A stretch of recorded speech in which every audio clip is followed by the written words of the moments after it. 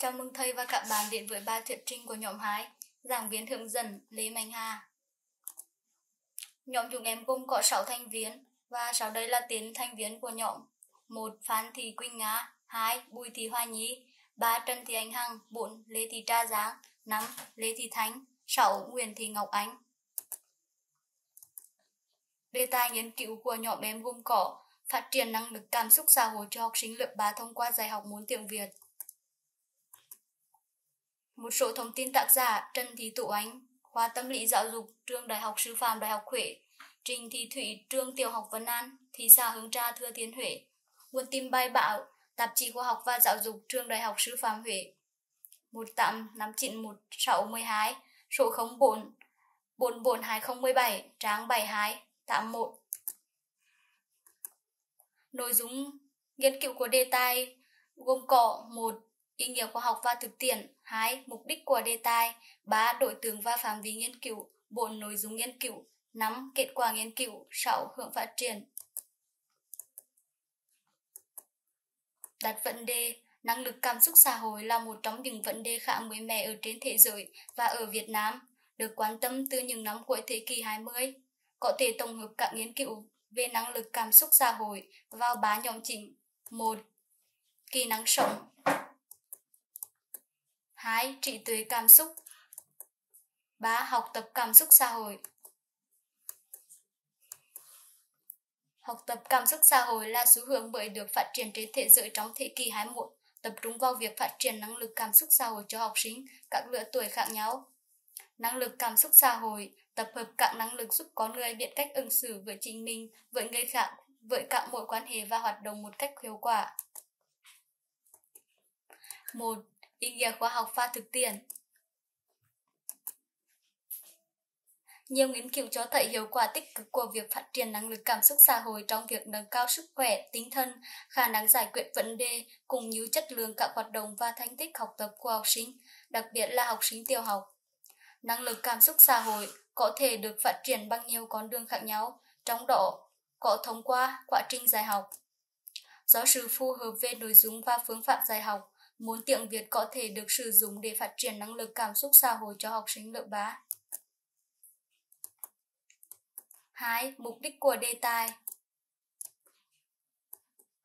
Nghiên cứu cơ sở lý luận và thực trạng về việc phát triển năng lực cảm xúc xã hội cho học sinh tiểu học thông qua môn tiếng Việt lớp 3, từ đó tổ chức dạy học môn tiếng Việt lớp 3 nhằm phát triển năng lực cảm xúc xã hội cho học sinh tiểu học. 3. Đối tượng và phạm vi nghiên cứu Đối tượng nghiên cứu Phát triển năng lực cảm xúc xã hội cho học sinh tiểu học thông qua giải học môn tiếng Việt lớp 3. Phạm vi nghiên cứu là nghiên cứu thực hiện trên 200 học sinh lớp 3 và 30 giáo viên dạy môn tiếng Việt lớp 3 ở hai trường tiểu học, trường tiểu học Lý Thương Kiệt, thành phố Huế và trường tiểu học Quảng Cống, Quảng Điền, Thừa Thiên Huế. Tuy nhiên, nội dung bao Bài báo chủ yếu đề cập đến kết quả nghiên cứu với 30 giáo viên. 4. Nội dung nghiên cứu Nội dung nghiên cứu Thứ nhất, nhận thức thực trạng của giáo viên cần thiết phát triển năng lực cảm xúc xã hội cho học sinh tiểu học.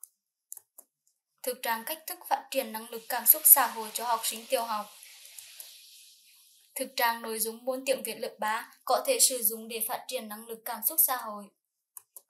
Các hoạt động dạy học môn tiếng Việt lớp 3 nhằm phát triển năng lực cảm xúc xã hội cho học sinh. Thứ nhất, thực trạng nhận thức của giáo viên về sự cần thiết phát triển năng lực cảm xúc xã hội cho học sinh tiểu học.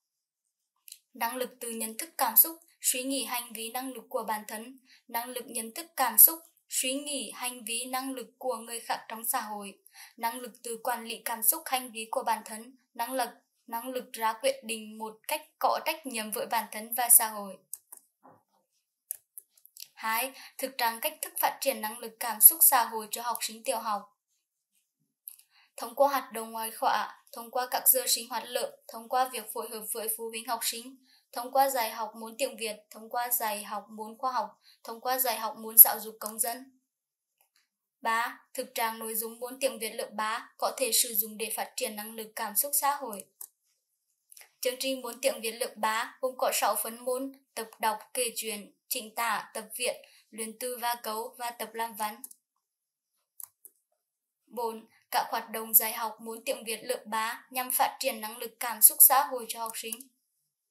Hướng dẫn học sinh thái độ, suy nghĩ, hứng thú hành vi của bản thân.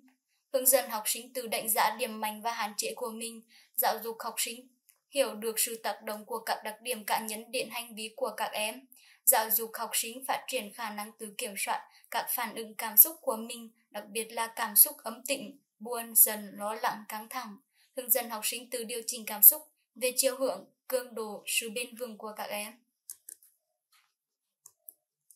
Phát triển khả năng nhận thức cảm xúc, thái độ, năng lực hành vi của những người khác cho các em, giáo dục học sinh hiểu và chấp nhận sự tương đồng và khác biệt giữa các cá nhân, nhóm, giáo dục học sinh nhận thức được các tiêu chuẩn đạo đức, chuẩn mực hành vi xã hội, hướng dẫn hướng dẫn học sinh nhận biết các nguồn hỗ trợ xã hội từ gia đình, nhà trường và cộng đồng khi gặp khó khăn. 5. Kết quả nghiên cứu Thứ nhất, thực trạng nhận thức của giáo viên về sự cần thiết phát triển năng lực cảm xúc cho học sinh tiểu học. Bằng một đánh giá của giáo viên về mức độ cần thiết phát triển năng lực cảm xúc xã hội cho học sinh tiểu học. Một, năng lực từ nhận thức cảm xúc suy nghĩ hành vi năng lực của bản thân không cần thiện không ít cần thiện 11 vân vân 15 2. Năng lực nhận thức cảm xúc suy nghĩ hành vi năng lực của người khác trong xã hội không cân thiện 3 ít cân thiện tạng vân vân 15 3. Năng lực từ quản lý cảm xúc hành vi của bản thân không cân thiện 1 ít cân thiện 11 vân vân 15 4. Năng lực thiện lập và duy trì các mối quan hệ xã hội không cân thiện không ít cân thiện tạm, vân vân 17. 5. Năng lực ra quyết định một cách có trách nhiệm với bản thân và xã hội. Không cân thiện 1, ít cân thiện 3, vân vân 20. Bằng một cho thầy giáo viên tiểu học không thực sự thấy cần thiết phải phát triển các năng lực thành phần của năng lực cảm xúc xã hội. 2. Thực trạng cách thức phát triển năng lực cảm xúc xã hội cho học sinh tiểu học.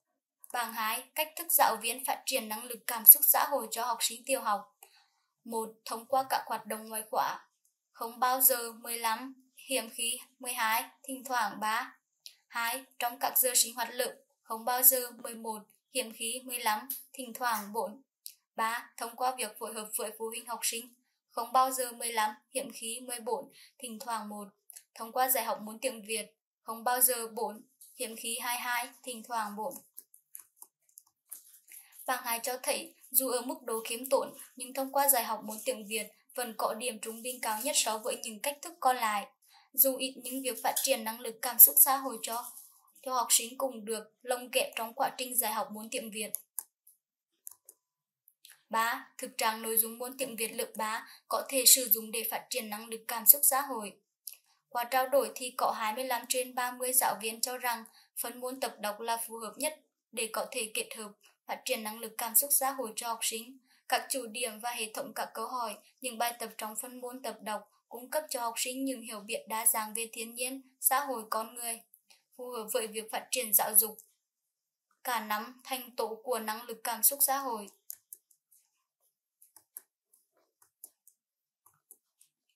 bốn Các hoạt động trong dạy muốn tiếng Việt lớp 3 nhằm phát triển năng lực cảm xúc xã hội cho học sinh. Bằng 3. Các hoạt động phát triển năng lực cảm xúc xã hội lồng ghép trong dạy học muốn tiếng Việt lớp 3. 1. Hướng dẫn học sinh thái độ, suy nghĩ, hưởng thụ hành vi của bản thân. Không bao giờ 8. Hiểm khí 17. Thỉnh thoảng 5. 2. Hướng dẫn học sinh tự đánh giá điểm mạnh và hạn chế của mình. Không bao giờ 3. Hiểm khí 12. Thỉnh thoảng 14. 3. Giáo dục học sinh hiểu được sự tác động của các đặc điểm cá nhân đến hành vi của các em. Không bao giờ 2. Hiểm khí 17. Thỉnh thoảng 9. 4. Giáo dục học sinh phát triển khả năng tự kiểm soát các phản ứng cảm xúc của mình, đặc biệt là cảm xúc ấm tĩnh, buồn, dần, lo lắng, căng thẳng. Không bao giờ 2. Hiểm khí 13. Thỉnh thoảng 12. 5. Hướng dẫn học sinh tự điều chỉnh cảm xúc về chiều hưởng, cường độ, sự bền vững của các em không bao giờ tạm, hiểm khí 14, thỉnh thoảng 6. 6. Phát triển khả năng nhận thức cảm xúc, thái độ, năng lực, hành vi của những người khác cho các em. Không bao giờ 5. Hiểm khí 8, thỉnh thoảng 14. 7. Giáo dục học sinh hiểu và chấp nhận sự tương đồng và khác biệt giữa các cá nhân, Nhóm không bao giờ 2, hiểm khí 10, thỉnh thoảng 14. 8. Giáo dục học sinh nhận thức được các tiêu chuẩn đạo đức, chuẩn mực hành vi xã hội. Không bao giờ không, hiểm khí 4, thỉnh thoảng 13.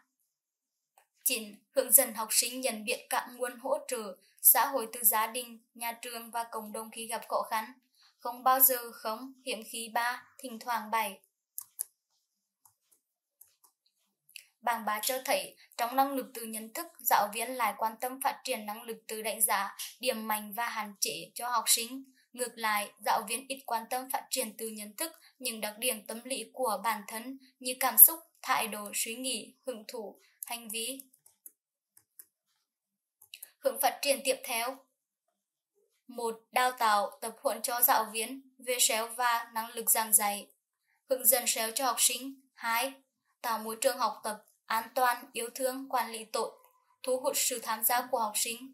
3. Giảng dạy, hướng dẫn, nâng cao năng lực, cảm xúc xã hội, từ nhận thức, nhận thức xã hội, từ quản lý, quan hệ xã hội, ra quyết định có trách nhiệm.